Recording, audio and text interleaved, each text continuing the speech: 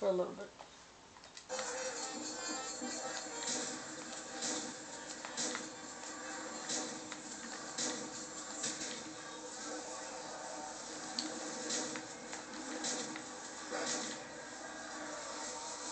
You got you okay?